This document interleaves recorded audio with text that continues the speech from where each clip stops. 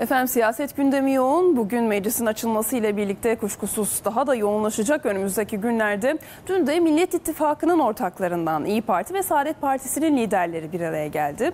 Görüşme sonrası Akşener ve Karamollaoğlu kameraların karşısına geçtiler ve gündeminde Akşener'in yaptığı başbakanlığa talibim sözleri vardı liderlerin. Akşener sözlerine açıklık getirdi. Karamollaoğlu ise dikkat çeken bir ifade kullandı.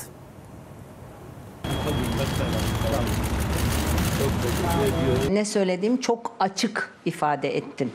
Benimle ilgili zaman zaman ortaya konan öyle mi böyle mi sorularına da net bir şekilde cevap verdim. İyi Parti Genel Başkanı Meral Akşener gündem olan ben başbakanlığa talibim sözlerine ilişkin konuştu. Partimin birinci parti çıkacağı ve parlamenter sistemin başbakanlığına talibim dedim.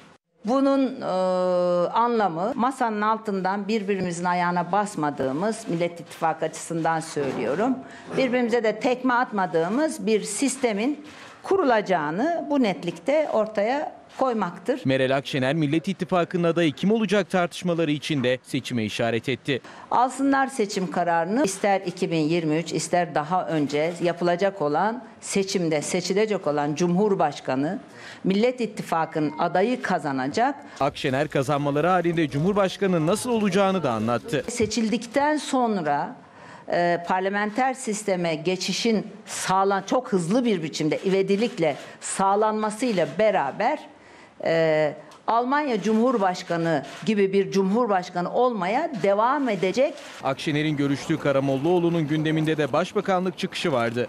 Akşener'e teşekkür etti. kendisinin e, Cumhurbaşkanlığı adaylığından feragat etmesi kanaatime göre önemli bir adımdı. Ülkemizin problemleri çok. E, bu problemler her geçen gün biraz daha artıyor. Seçimler önemli bir vesile.